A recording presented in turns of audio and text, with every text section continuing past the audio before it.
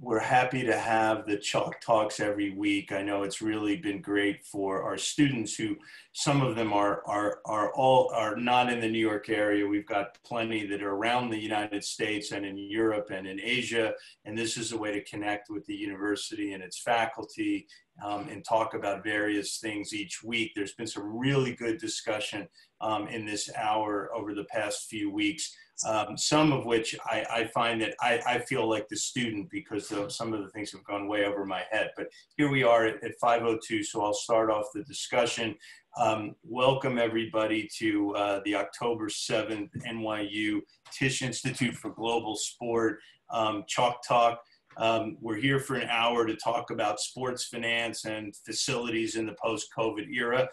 Um, you'll see that I have invited um, two individuals to help me along in this. Um, Jim Leonard, um, who is a partner at Faegre Drinker. I'm going to ask Jim to introduce himself in a second, and Willie de DiBlasi, who is um, also a principal here at Inner Circle Sports, uh, who works with me quite closely at Inner Circle on sports facility finance. And so Willie's a former Goldman um, and, uh, banker. I won't hold that against him. And uh, um, I'll ask him to introduce himself as, as well. We are going to talk about um, the really what's going on in the world of sports, sort of the roller coaster ride that we're on right now of do we have fans? Do we not have fans? Who's in? Who's out? What's it doing to sports? Um, who's who are the big players in finance? Um, where's money coming from? And we're going to spend a little bit of time sort of drilling down on that. And then um, we'll talk about how people are managing their development of facilities to, to and in fact, just fit the bill as to how people use sports facilities, how people um, come and go through them, um, what's changed in the COVID era, what's accelerated, and what's sort of slowed down a little bit. But before I do that, Jim, why don't you you take the floor? Why don't you introduce yourself, and then Willie, and then I'm going to hand it back to Jim with an interesting question on what's how the impact of, of COVID has uh, has has made some changes in our business. Yeah, thanks, David. Um, my name is Jim Leonard. I'm a uh, partner with the law firm of Faegre, Drinker, Biddle, and Reath. Um, I'm in our Denver office. We represent uh, amateur, professional uh, sports teams throughout the country and uh, work with uh, cities and uh, other actors kind of across the entire spectrum of sports. Uh, David and I actually have been fortunate to work together on a number of venues together, including the most recent home of the Kraken in Seattle for the NHL. Um, I uh, personally have uh, been the outside uh, general count, not general counsel, but outside counsel for the Colorado Rockies for 20 years. Um, but also through that time, I've also done a lot of Olympic work and have worked with the United States Olympic Committee as well as a lot of national governing bodies for both summer and winter Olympic sports. And so the summer sports is something that I think will be an interesting uh, deal to talk about when we uh, start talking about you know how all this started to come down. Cool. Willie, go ahead. Sure. Um, first, thank you. Uh, thank you again for having me. Um, you know, as, uh, as, as David mentioned, uh, I'm a principal in Inner Circle Sports, uh, and David and I work closely together uh, with a focus on uh, sports finance and stadium and arena advisory and finance work. Um, so prior to joining Inner Circle, I spent 10 years at Goldman with a similar focus uh, on uh, stadium and arena finance globally. Uh, I've worked on projects uh, all throughout the U.S. Uh, and throughout Europe. Did the Sacramento Kings new arena Golden One Center. worked with the Yankees on some of their financings, Barclays Center, a number of MLS financings as well as uh, you know with Tottenham. Uh, so really uh, span the globe in terms of the the projects that I've worked on, uh, and uh, you know definitely excited to be here and and hopefully share some thoughts on on what's an interesting time in our world. Fantastic, fantastic. I already see questions coming in from one from our, our, our colleague at, at NYU, Len DeLuca, who was a, um, is an icon in the sports media business. He's got a good one for us. I'll pose that in, in, in a few minutes. So we're going to first talk about um, how sports has been impacted most in the COVID area. And and Jim, why don't you kick it off? Uh, you know, you you've uh, you've said to me, we're the elevator's going down for the time being. Yeah, right. Well, uh, actually, I'm, I'm good, good, friends with uh, the the USOC's general counsel, Chris McCleary, and uh, so I'll, I'll, have to give that trademarked phrase to him. But uh, uh, whenever we've been sitting around, including when all this started happening uh, and, and, became more than just this is something happening across the ocean and, and, and started becoming very real in uh, February and then uh, definitely at the beginning of uh, March. And in fact, one of my friend's mothers was uh, the presumptive COVID case number one here in Colorado. So um, th that started to hit, to hit really close to home uh, at, at the beginning of March and the first week of March. So this the, the elevator down, I think, is everybody's kind of uh, individual and unique story for how this came to pass. But there there does seem to be a D-Day, which was uh, March 11th, which happened to be my wife's birthday as well too. And as we were leaving a dinner, uh, you know, on the news, Adam Silver was canceling the NBA season, um, and then obviously in the next uh, couple days after that, everybody followed suit. Um, interesting thing, um, I do a lot of Summer Olympic sports as well too, and and you know the Olympics, at least when you're looking at the quad cycle, which is there. Um, the, the, Olympics might as well have been the next day. Um, the way that Olympic organizations work for both uh, revenue and uh, just in general their sport, while the sport is 365 days uh, a, a, year, uh, really the buildup is two years in advance, and the year uh, in advance of the games is really where you're you're, you're in hyperdrive. Um, and so a, a, lot of people were sitting there looking at having trials in the coming uh, weeks, qualifying races, and other things like that to get ready for Japan. And uh, the conversations I was having with people that night and at the wee hours and throughout the weekend, uh, you know, all centered around what everybody in the sports world was looking like. Uh, I don't care whether it's youth sports or professional sports or Olympic. Uh, people were looking at um, at first trying to figure out how they maybe could move events. Um, uh, no one really, while the while the leagues had canceled, I think everybody else was still trying to figure out, you know, how, how can we postpone things? How can we move things? And and uh, it became readily apparent in the couple weeks after that that everything was going to have to go into a full shutdown. And and, and the things that um, really provided the, the the impetus for all of these discussions are still what we're looking at today um, state and local governmental orders, um, liability and insurance issues, um, sanctioning issues, uh, particularly in the amateur sports world, and then contractual liabilities and obligations, whether it's media contracts um, or, or, sponsorship agreements, anything that has to do with revenue uh, was impacted immediately and in a very uncertain manner. And, and while we've been able to get through uh, certain of the professional seasons here, um, it still is a, is a, major question mark as we look at uh, people taking interim measures here. What is this going to look like next year? So I, I think that elevator down is uh, I don't know if we've hit the bottom of it yet. And I think that that's what the big question is out there, David. And I know we sit around trying to answer it and go, have we hit the bottom of it?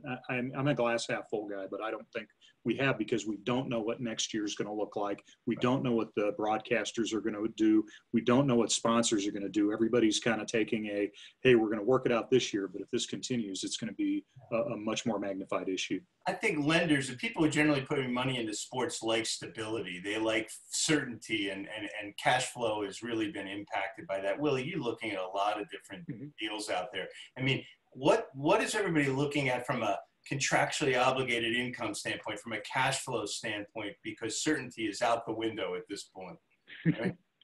Uh, that, that's exactly right. Um, and, and, you know, most facilities are, are built, you know, just like general infrastructure financing on that contractually obligated income. And so the question is, you know, one, you know, how good are those contracts if the, you know, buildings and the clubs are unable to deliver on the content that underlies it? Um, and, and that's very fundamental to these credits. I, I will say overall, um, you know, outside of, you know, sort of the very uncertain period, you know, March into May, call it, when it wasn't even clear that we were going to be able to have sports content on television.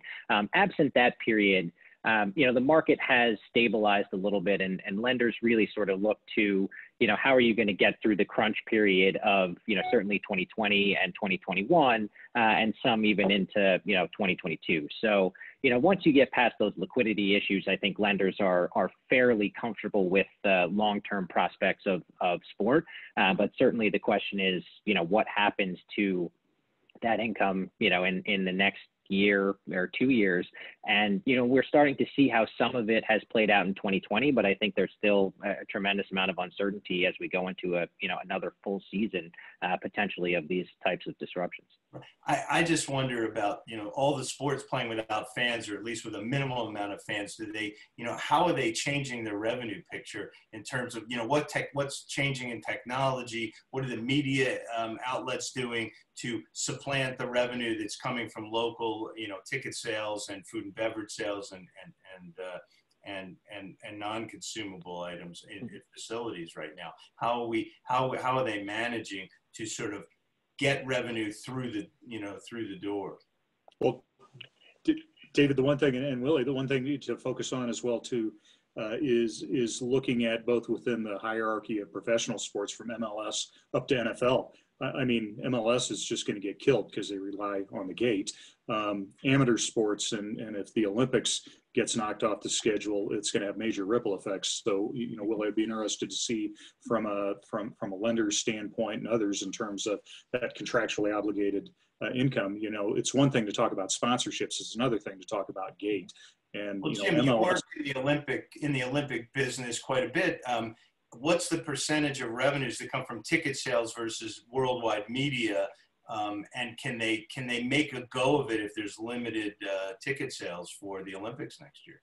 Well, the Olympics is is is a is is a, a different animal in terms of from from the upper level. I mean, you got to realize too, in, in understanding the the structure of the Olympics. You know, you start out with the IOC on top, and and then all of the the, the country governing bodies that are there, like the USOPC. I mean, essentially, the Olympics is just a massive contractual arrangement, is is what it is, with everybody subcontracting for the other. The issue that you have uh, at at a base level um, with people getting affected or the national governing bodies, uh, you know, the cyclings, the swimmings, and other things like that. Some uh, are just historically not in a good position, and and revenue is an issue every single day. Some uh, are very well positioned, but of the 50 national governing bodies, there's probably you know under 10 that are very well positioned, and so the money that uh, is supposed to be coming into the USOC some of which gets distributed out to the national governing bodies.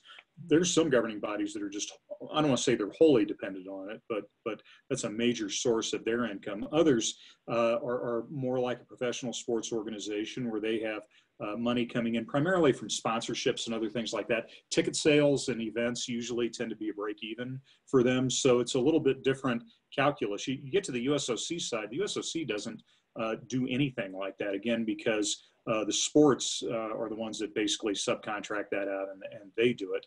The, the USOC is dependent on uh, their sponsorships and things like that. So that's affected by the games. They're having the same issues that uh, every other sports organization is having. They're having to make goods for things that are potentially down the year. And you have uh, all sports are running into the same issue where people, particularly sponsors, uh, not all of them, I, I've been pleasantly surprised on both sides of the equations where people are are working together. But but in the Olympic space, even more so than the professional space, those sponsorships are huge. And and and if you've got a sponsor that says, hey, this year's kind of a nothing year and we, we need a free year that's a year out of your revenue and cuts into your next quad um, the ioc and the usoc and others you know they're dependent on you know at least the usoc that nbc money and not all that money's coming in right and we don't know what's going to happen with next year. As as a local organizing committee, um, Japan, uh, there's there's been press on that. I mean, they're they're still pushing ahead. They've cut back about 300 million in expenses, kind of most recently reported. But um, you know, the, the, those events are not necessarily made to make a profit off of people walking in there. That's sponsorships and media.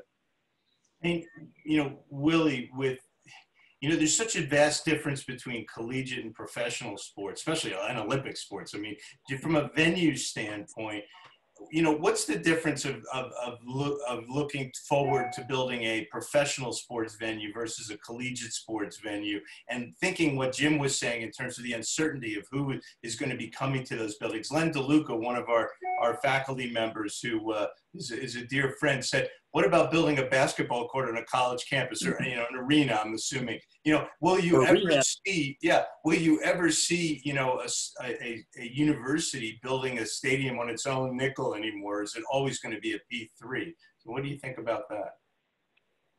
Yeah, I, I, think it's it's definitely an interesting time in terms of how you know folks are going to view what the appropriate way to fund a project like this is. Um, you know, I, I, I think personally that you know there has been a move in the collegiate space, you know, towards you know P3 uh, or project finance type structures uh, on these buildings, and I think as uh, you know as the budgetary situation of universities generally uh, you know, start to become more clear over the course of, of the next year or so, I, I think people will realize that it does make sense to look at this either as a P3 or in a self-sustaining uh, project finance type structure.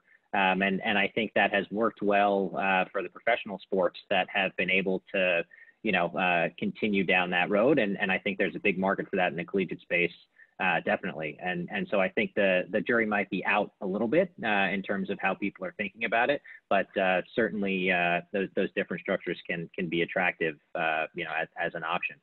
Well, things were cooking along really nicely about a year ago. I know Jim and I are working on things. We, we were surprised at the level of interest of banks in, in, in projects. I know Willie, you as well, before we joined joined forces. I mean, just money was flowing into business, but in, into the sports business now very very fragmented. When does the industry get back to growth you know in numbers? You know when are fans at live events? What you know this is a loaded question by the way and i'll i'll, I'll go third but jim when do you think you know people are back in in the in into coming to events where money flows back into the sports business at the pace it was flowing um, say in 2018 20 early 2019 well, I mean, if we if we kind of focus on people too that have a uh, a reliance on gate, that that's going to be people getting back in and, and to go back to um, the, the the factors that kind of brought um, everything to a shutdown are the factors that are influencing what happens moving forward. And so,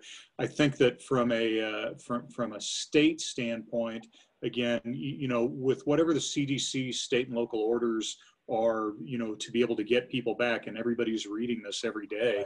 I mean uh, the green bay packers announced yesterday that in, in, until things change they're not going to have anybody come back. And and there's other owners dallas who would have 100000 people in, in, in, their venue. And so um, the, the ad hoc nature of this kind of makes it a team by team and, and does present uncertainty you know for for for the leagues um, when you go back and you take a look. I mean, the big thing for baseball was to be able to get a season, even if truncated, so that you could get to the postseason. That's where the money is. It's not so much the money, you know, it's helpful for the teams for the money that's coming in for the RSNs and things like that. But those big uh, national media contracts to be able to get to the postseason, particularly in baseball, that's when all the money rolls into the leagues and such. And so, uh, again, that that that's that that's a different deal uh, and we all know that NFL is a, its own completely different animal. I mean, you don't necessarily need fans there. It's nice, but that's not going to make or break a team. It's going to kill a team like we talked about with MLS or in, in some of these others where you're very heavily reliant um, on uh, on gate. And in terms of getting people back in, you know how these orders look like what do they look like on a, on a state by state basis? We all know i don't think there's going to be anything uniformly from from a national standpoint. There there is from from from my standpoint doing a lot of uh, venues and events and things like that there's a trend happening and and um, kind of obvious states if you will um, where there's um, kind of statutory immunity for state actors and then for other people uh, kind of a limited immunity. It's, it's, akin to the batted ball statues. I mean, we all know about those. I mean, in order to get owners to come in, uh, particularly in baseball, where the term comes from, that, uh, that, that, that individuals associated with the team have basically tort immunity. Uh, you know, somebody's getting hit by baseballs or other things are happening where people get injured uh, in the stands. And, and that all works into ultimately project financing as well, too, because you get the owners who come in, they want to spend money to build stadiums. You get people to get involved in P3s. I mean, it's one of these foundations that people aren't going to walk into an event and get sick and then go sue you for hundreds of millions of dollars, right? And so I think what we're seeing um, in, in a variety of states, Georgia, uh, Louisiana, North Carolina, Oklahoma, Utah, Wyoming, by the last count I had, where you're you're seeing this codification of essentially what's assumption of risk type of uh, uh, of concepts that you see when you go out and you sign a release or a waiver when you zip line or rent sports equipment or do whatever.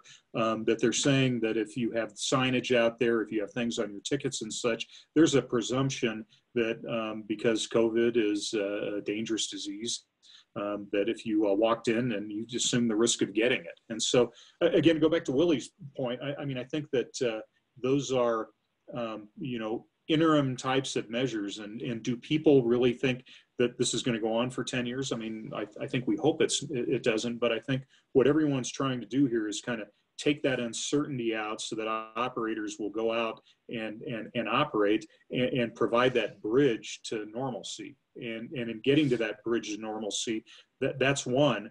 The, the, the other is the insurance industry, and the insurance industry is just you know getting batted around here. Um, there, there's there's an amazing amount of suits that, that are in various stages of litigation for business interruption. The leagues are bringing them um, where they're saying that they're insured for the loss of revenue that happened.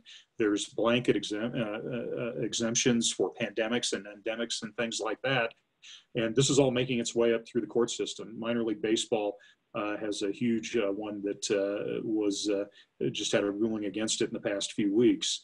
Um, so the idea of, of getting people back in and getting to normalcy is is um, is there going to be protection for the business owners? And I, I think uh, this, the states are doing that through legislation the insurance companies are going to be a wild card here. There's a lot of insurance companies that are saying that they may have insured for communicable diseases, including COVID, but now, as uh, and particularly in sports, you see a lot of annual renewals, um, and those have been coming up in September. And there's been a lot of we're not going to insure over that, and so getting people back in is uh, going to be dependent on that that hey I, I, may be able to get people back in i may be able to abide by state and local orders but there may just be too much risk which is out there until uh, there's a, a, a, cure that's there. And I think that's the decision that you saw Regal make yesterday on theaters, where they just threw their hands up and said, we're not going to do it. And I think um, it's an analogous situation for sports. All the really big money invested movies,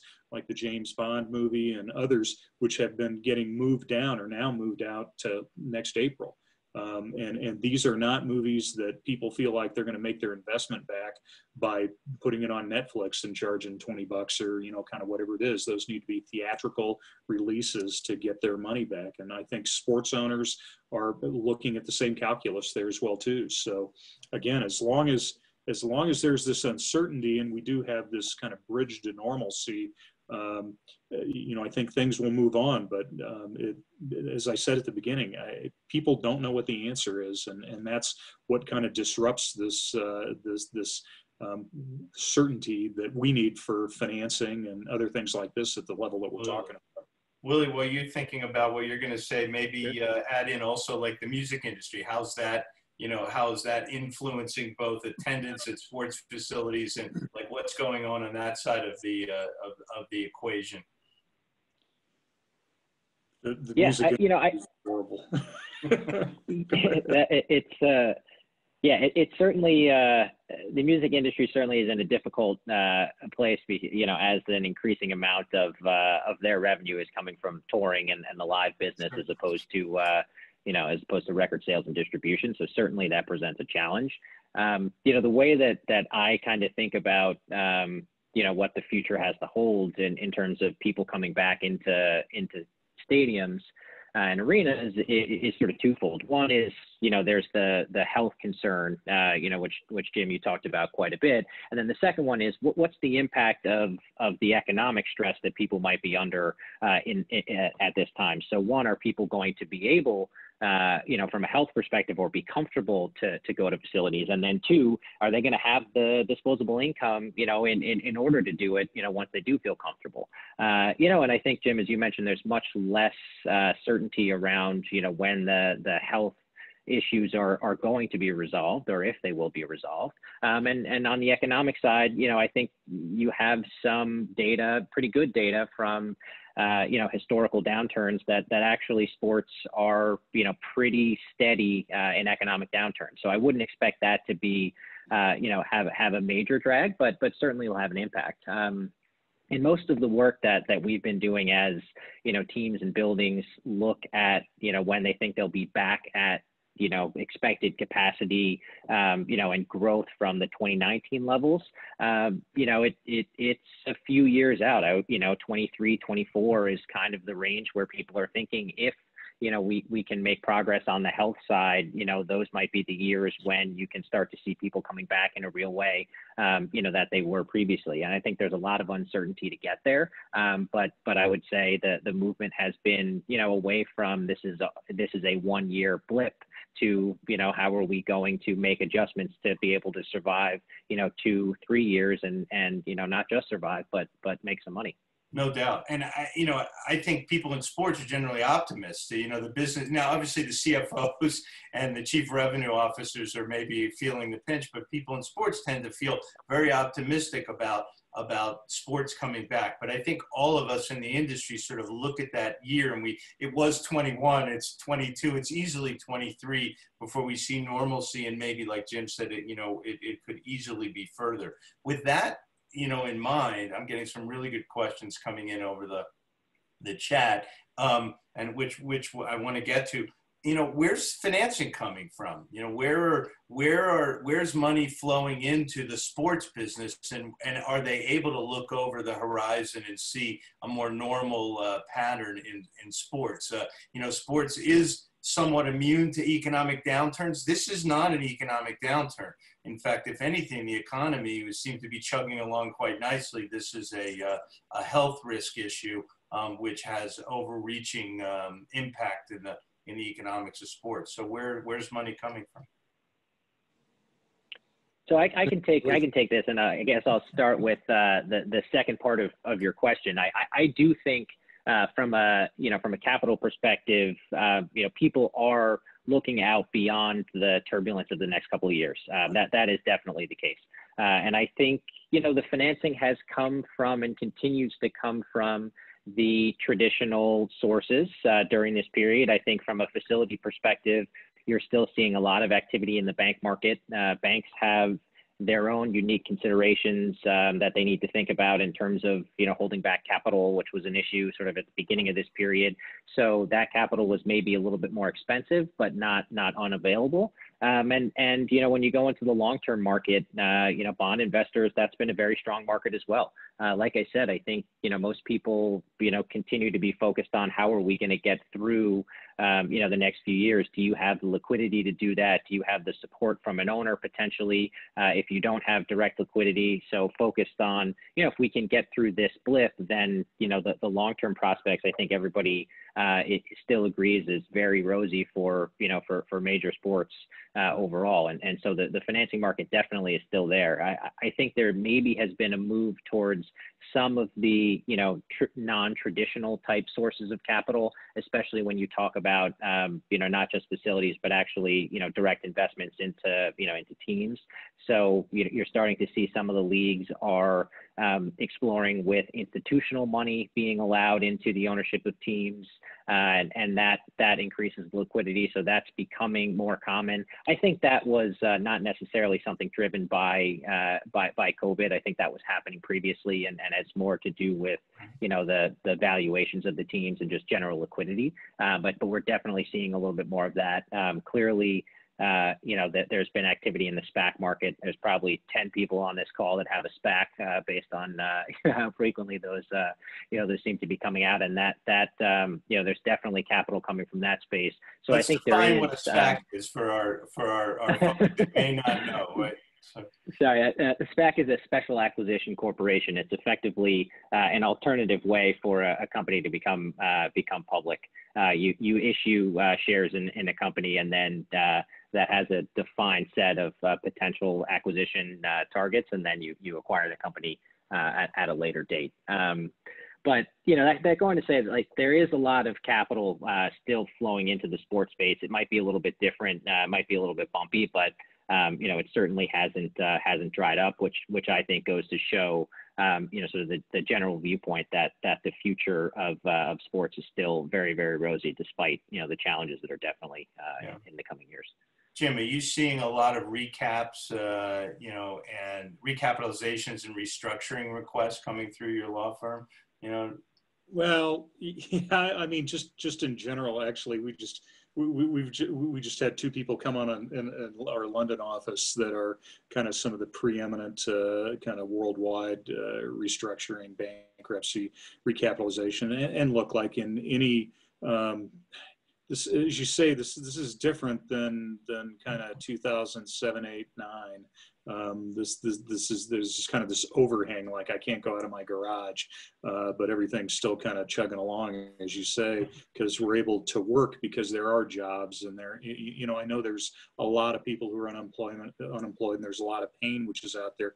This is nothing like what happened after that. I, I, mean, I think people are adapting to different ways of doing business, and ultimately, I think they're going to be, uh, including things like in ticketing and other electronic assets and things like that. I think you're seeing a lot of things being done in all kinds of industries, whether it's restaurants, retail, uh, and sports in particular. The uh, um, but but yeah, th- th- th- there's there's a lot going on as opposed to uh, you know, in kind of the recession, there was a lot that wasn't going on. I mean, I had a couple facilities that I was working on. Unfortunately, they got funded right before kind of everything went in the hopper, and we, that was kind of what we were working on during that time period while everything was uh, kind of getting unfrozen. But you know where I kind of look at it, and as Willie was saying as well too. I mean, you're looking at at what the uh, at what cash looks like and the divisions of your cash. You know, and what Willie's talking about. I mean, those are things that that, that are you know longer term and have a longer gestation period and kind of more risk tolerance. The the the issue here of you know to kind of get back to uh, what is my broadcast revenue? That's that's kind of a step down from that because people take a much longer uh, view of that, particularly with national contracts and even the RSNs. Those tend to be people take a longer view on that. But when I'm looking at how you, you know where you're dealing with things operationally, whether it's sponsorships, concessions, and gate, you know, kind of go down in terms of the immediacy of the need for those things. Um, sponsors, as I mentioned before, I think are uh, um, and, and, when you talk about recaps and things like that, I mean, those fall into that as well too. Those are significant pieces of revenue particularly when you're looking at naming rights. Um, those kinds of deals feed uh, right into project finance. And, and, I think on the whole, uh, right now, um, at least what I've seen, the naming rights sponsors all kind of understand what the deal is. Their names are on the outside of buildings and such. It's not like they're completely reliant on in stadium and arena activations and things like that. And so they're still getting kind of value, if you will, for their dollar but there's a lot of people that are very much reliant on what's going on in the stadium. And I'll tell you, it's it's it's. Uh, I think everybody is working together because nobody wants to be the jerk on the other end of the uh, side of the tunnel here, particularly with. I like to be. I, I, like to be that guy. you know, but I, I think, uh, and, and, you're seeing this play out uh, as well with with with unique kind of deals that people are trying to do in the various leagues the tarps, for instance, that they put out in the NFL, right? I mean, those, uh, I think when you talk to NFL people and others, uh, you know, they put a huge value on that. But when you actually watch what a game looks like, there may not be as much kind of exposure as people were wanting and, and, and in some cases more than people may have thought and some less. And so it's just an experiment that people are going through. And so again when, when you ask about recaps i mean I, I look at what do those revenue generating and those contractually obligated income types of pieces of, of your finance and of, of your assets look like. And, and people have to be very creative. And i think uh, um, think way outside their risk box on both sides to, to deal with it. Um, the concessionaires are just get killed, you, you, know, because there's nothing going on in stadium. Oh, yeah.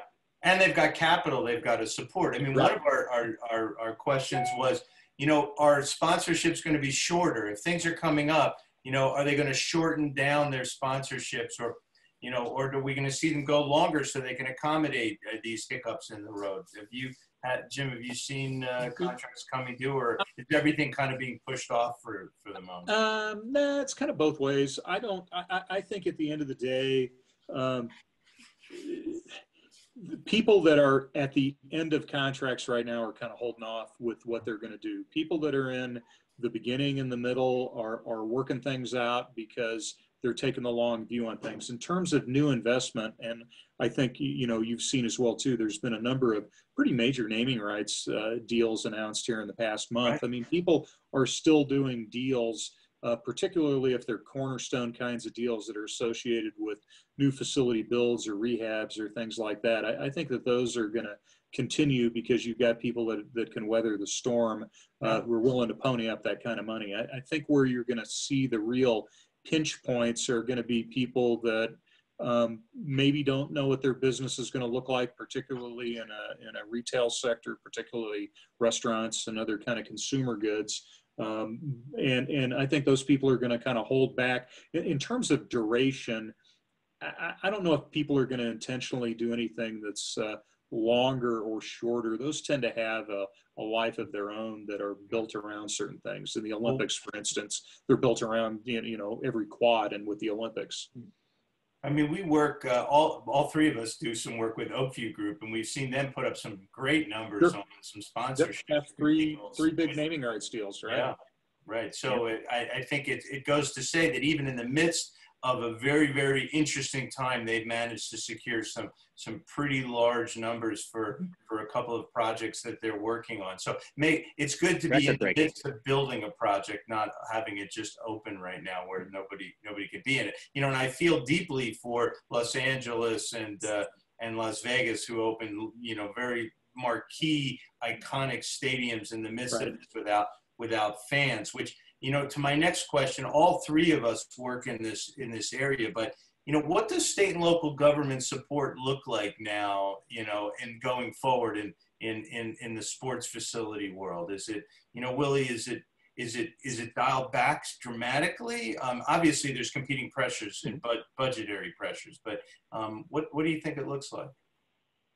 Yeah, you know, I, I think that there are competing pressures as as there always have been uh, in terms of you know the investment in these projects. I think that becomes more acute uh, as uh, you know as state and local governments you know try to understand what the impact is going to be on on their uh, on their budget. So I think the conversations become you know a little bit more difficult. Uh, I, I still think there is incentive to support projects that support you know economic growth and activity in your area, and certainly that's going to be something that that state and local governments are you know, very, very, uh, you know, going to think about very carefully to make sure that they can still encourage that. Uh, but, but I will say, you, you see buildings, and David, you and I have talked about this before. Uh, buildings that you know have ongoing maintenance needs that you know are either being unmet or have fallen to uh, you know fallen to state and local governments that have you know budgetary pressures that they're facing now and i think people are going to look closely to say um, you know how does this project fit into you know my overall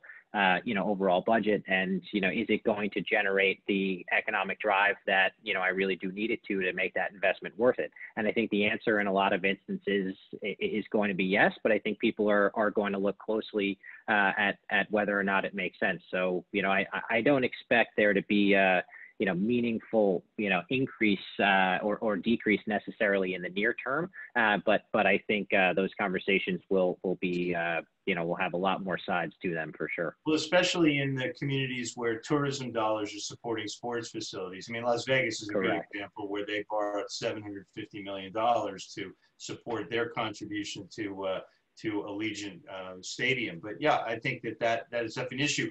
Jim and I were very fortunate to work on, as he mentioned, the Oakview Group project in Seattle, where the city of Seattle is not on the hook for budgetarily speaking for um, operating or capital contribution in, a, in, in, the, in the general sense of the word. They are providing the existing property, but they aren't um, responsible for an ongoing um, annual contribution to, to, um, to those buildings. And I think at this point where you've got buildings that aren't even being utilized or in the future, there's pressure to put money in for CapEx and making sure that these stadiums and arenas are at the highest level they possibly can be. Um, where you've got a period of, of downturn or a period where under they're underutilized, there's extreme pressure not to maintain the buildings, mm-hmm. and then put that back to the lo- units of local government if they're involved. Yeah, I think. And, and I've, I've go ahead, oh, sorry, Jim, please. No, go ahead. Uh, I, I, was going to say I, have heard this in the context of, of private financing, but but I actually think it, it's applicable uh, in, in, P3s as well. There's a there's an increased question of you know what's debt risk and what's equity risk. So who who's going to bear the risk of you know in in two years if things aren't back to normal or you know we aren't able to to get to a place where we're back to 100% is that risk you know more more you know suited towards the equity and and the team ownership? Uh, or you know does it does it fall to the the municipality and, and in the private instance the the debt holders? And i think you're finding that that the the push is more that you know, maybe that's something that fits, you know, more in equity risk. And from a municipality perspective, it's how do I protect on, on that downside? So those conversations have always happened uh, clearly, but I think it's become, you know, much more, uh, you know, much more at the forefront of, uh, of these discussions as people start to think about what a, what a partnership looks like. Yeah, and I, th- I think in those partnerships, I think there were some trends that were developing before any of this, um, where, where, especially on that capex load, and to the extent it hasn't been offloaded on the team and it's on the city, um, particularly where you've got dedicated facilities, um, you're seeing uh, creative arrangements that were being done that really has led to an expansion of what teams are doing, whether it's the Packers Titletown, the Rockies have done a, a, deal here, the Cubs have one outside their facility, where you're seeing kind of that natural kind of owner desired expansion into the real estate business as well too, and where the city may have property and say, look, you know, um, we don't want to bear the capex or have any responsibility for this. You take this property, you develop it, and and you keep the income off of it, and then you use that to meet your obligations. I think that that's a uh, uh, kind of another way of looking at these P3s, and and uh, and and just another way of of finagling certain amounts of dollars because they got to come from somewhere, and somebody's got to be able to pay for them, and who's got the resources for it. And um, I think you know all of our our sports clients have been willing participants to diversify their interests sure. outside of sports into other real estate, uh, either around their stadium or nearby. And so they can accommodate events and other types of activities from an activation standpoint that gives them the ability to, to really not just be in the sports business, but be in the entertainment business. So. Yeah. The, the other thing that's going to be real interesting, and look, I, I think it's a microcosm, but uh, um, that, that we may be experiencing in some tourism type of based states that are um, getting overrun during the pandemic. We are certainly here in Colorado. I mean, the mountains look like they're July 4th every other day uh, up there. And so I think that there was a lot of real concern from a municipality standpoint. And, and look, a lot of the mountain communities um, do, you know, major serious uh, events and sporting events and entertainment right. events that have big capital kind of needs for them. I mean, not on the, the scope of the $2 billion stadium, but, but major events that require a lot of capital to put off every year, put a lot of money into the economy and such. And, and, and I think, you know, when you're looking back in, in March and April, uh, everybody thought that, you know, they were all going to go bankrupt and, and nobody was going to have any money. Frankly, assessments, the way that they're trending up there and tax revenue base and things like that are far exceeding any kind of expectations they had in year to year are up by significant percentages. I know it's not like that everywhere in the country, but I mean, I do a lot of kind of sports entertainment work up in the mountains, and uh, people are breathing a little bit of a sigh of relief. Uh, but uh, um, you, you, know, we can look around at any other number of of golf events or serious professional events where these things that we're talking about with stadiums and things like that apply equally for their revenue that uh, some places it's working and some places it's not. So that you know like i said it could be an anomaly but th- th- there is when you kind of look at this when people hopefully are looking over their shoulder and this is done is is you know how much um, you, you, know, economic uh, uh, blight did it uh, wreak on a particular community is going to differ from place to place, but uh, it, it, may not ultimately be as bad as, as in some communities as they are in others. So that's it's part of the calculus. In, in, in the real estate business, there, there's always this sort of thought that the third person in is the one that makes money. It's not the it's not the first person. Now in sports, it's a little bit different. But you know what what are the banks doing and what are the lenders doing to protect themselves right now? Are they, you know, at least from the legal standpoint, Jim and and and, and Willie, from a financial standpoint, you know, what's non-relocation look like? What does force majeure look like? How are we protecting you? Now you've got teams playing in build home games in, in buildings that they were never supposed to play home games in. So how are how are lenders protecting themselves? What are they thinking about? You know, as they as they ask the teams to sign on, what's a non-relo look like these days? You know, that's a loaded question, and I don't think any of us. Yeah, I, I, I, I, think it goes back to the, the this whole idea of accommodation right now. Right, is um, sports is playing an important part of having some normalcy in everybody's lives. So that we're not on Zoom calls all day, right? this is my fifth Zoom call today, so. Uh, but uh, um, it, it, and so again, to go back to the I don't want to be a jerk uh, kind of comment. I think that people that are in um, high profile, high stakes relationships, uh, particularly where there's governments involved, I, I think that um, this isn't anything intentional that anybody's doing to to to break it. I, don't care what kind of contract we're talking about, relos, sponsorship agreements, broadcasting, whatever.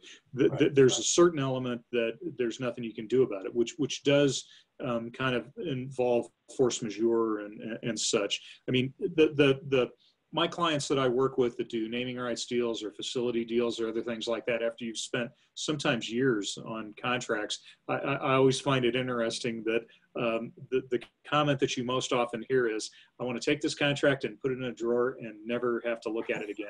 Because the, the relationship that we have constructed is reflected in the business operations, and that's how we want it to work. And so um, I, I, know you have seen kind of during the pandemic a lot of uh, talk about force majeure and things like that. It, it, you know, there's a lot of lawsuits that are going on right now. I think uh, Under Armour and UCLA or in the Pac-12 or UCLA in terms of uh, Under Armour trying to get out of a contract, you know, based off of that. Um, I, I, mean, the, the idea for force majeure typically is that it's a suspension of um, an obligation uh, that you have contractually because you just can't perform it. Um, it does uh, sometimes manifest itself in the ability to terminate if it goes on for a long enough period. So um, again, in, in, this business, the most that what I have seen predominantly is people trying to work things out because they want to be business partners at the end of the tunnel. Where you're seeing those things get pulled out and used as an offensive weapon is where people typically are at the end of a deal that they really didn't like and they're trying to get out of it. That's a really good point. You know, I don't think you, you, you underestimate the value of a contract in that where there's an opportunity to, to be partners, the contract doesn't drive it. It's good business judgment drives. Yeah. Yep, exactly. I, uh, I, I, I can appreciate that. Go ahead, Will. Yeah, no, I, was, I guess I was going to say, but most of the investors in, in the space that I talk to on the debt side, um, you know, l- look at the world upside down. So, so it's not uh, what happens when things go right. It's you know what, what's going to happen when things go wrong. And so, I, I think there's going to be an increased focus on you know what what some of those provisions that that people may not have focused on, you know, re- really do mean. And, and, I think that that manifests itself in in a lot of different ways. I, I think on the one hand, you look at your revenue mix and and you think, okay, if if I'm backed by a sponsorship deal that's a you know a, a, deal on the stadium very clearly that fits within the you know stadium you know sponsorship package. What happens if you know that to get the value out of that sponsorship all of a sudden it shifted so that it's you know put down on the broadcast? Does that still you know how does that get allocated? And so i think there's going to be much more focus on you know the the details of you know what underpins uh, each of these deals. And and you know, not that those didn't matter uh, previously on the underlying deals, but you know, if you're saying that that uh, uh you're willing to lend to something because it's 75% contractually obligated income, where well, you have to make sure that those contracts actually mean something in in an environment like uh, like we're seeing today.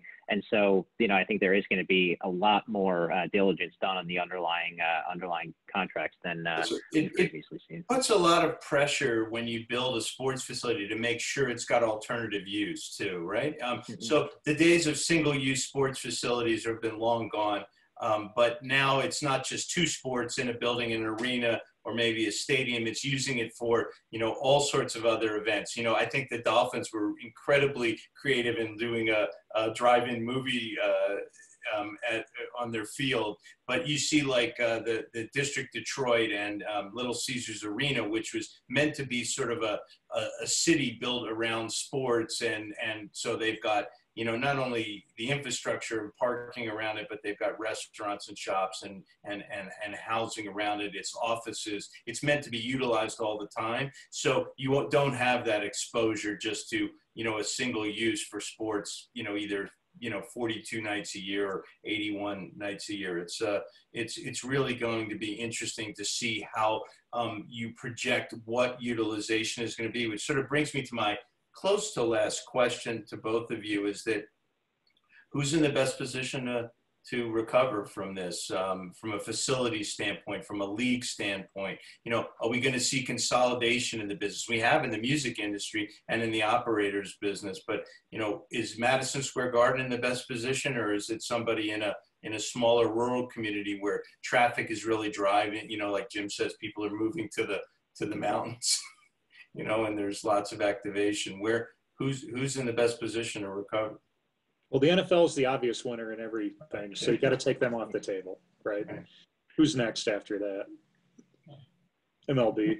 Yeah, maybe. I, you know, I, I, you know, I've been watching a lot of this, a lot of the games in the bubble, the basketball. Of course, I'm a Heat fan, so you know, watching the the games in the bubble, and like can you survive in that environment? What happens when you go back to your facility? You know, is, is the NBA find an answer to to uh, to to not having fans? Did Major League Baseball find an answer?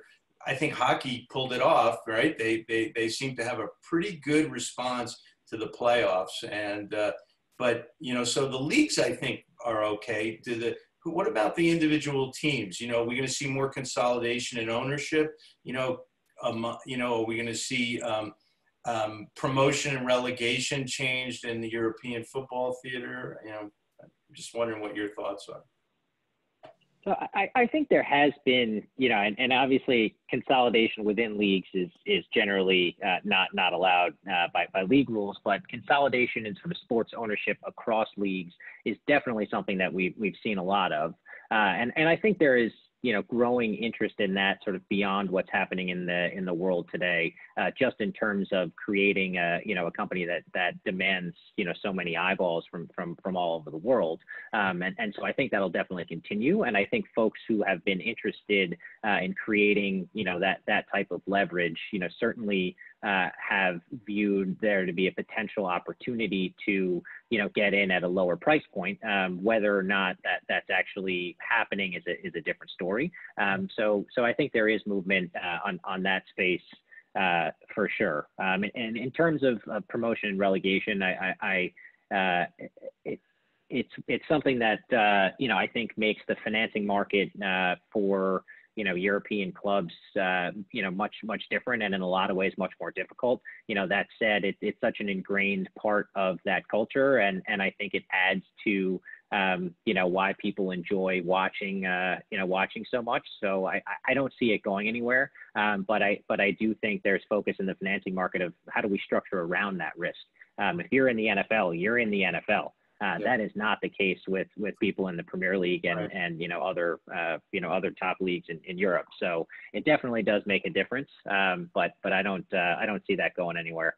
Uh, I think that if, if the if we all agree that the NFL is probably at the top of the heap economically speaking in the United States, um, and MLS being so dependent on ticket sales and and and you know stadium revenues you know, I, there was a question posed a few months ago. Would MLS um, consolidate with like Liga MX? You know, does that make sense and have a more of a North American feel rather than just the United? Well, you know the teams that are in um, in in the United States. Uh, you know, you, what do you think about that? Do you think that makes some sense? Um, would there be more likely to see international purchasing of sports teams? You know, where money is, seems to flow into the states, likes the stability, and you see a much bigger influence of international ownership in in U.S. sports assets.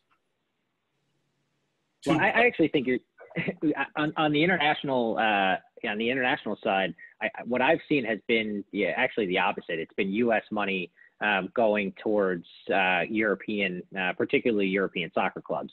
Uh, recently, there have been a number of investments, you know, across multiple leagues, um, you know, both at the very top and and you know at sort of the historically, um, you know, uh, middle middle tier of the top leagues, and even into you know even into the championship and and you know second uh, you know second tier professional leagues. So you you've definitely seen a noticeable uh, increase in investment going from the U.S. Into Europe on on that front. Um, I, I, haven't seen quite as much uh, coming, you know, internationally into the U.S. Although, you know, I do think sports, at, you know, assets in the U.S. are, are increasingly attractive. Uh, it's just the price point is substantially higher for, you know, for point of entry. Um, you you can get a very successful historic, uh, you know, Premier League club for many multiples less than you know what it would take to get into the MLS and right. and I think that that definitely uh, changes the dynamics, and and that is partially because of uh, of the absence of, of, promotion and relegation here in the U.S.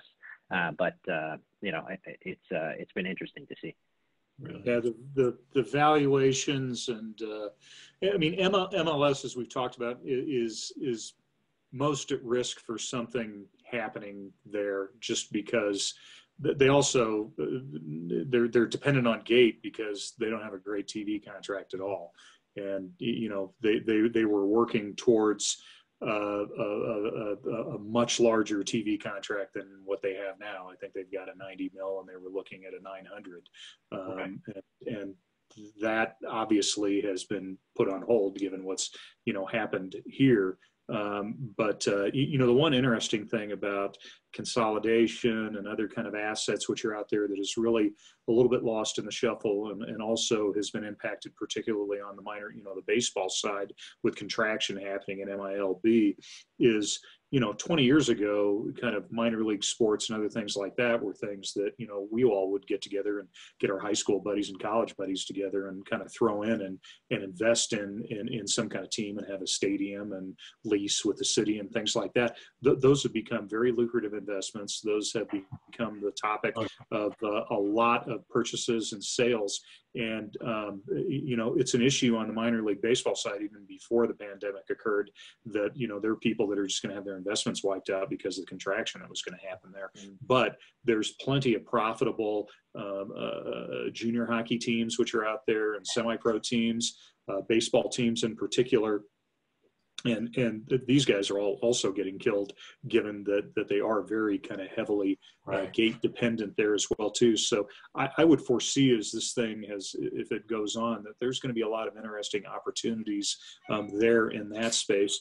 And consolidation isn't necessarily prohibited uh, in, in, that aspect. So i think you, you know you see you'll see a lot of movement potentially happening there if this continues on. And there's a lot of really great value i think which is there well, so my our last minute or two, I'm going to ask you one final question, and um, a lot of people think there's just too many dollars chasing too few assets. It's driven up valuations. Sponsorship deals are out of control. Players are getting paid too much money.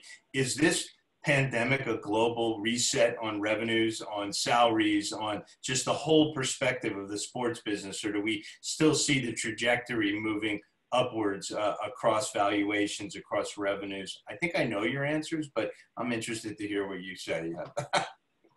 yeah, exactly. Willie, you go ahead. Go ahead.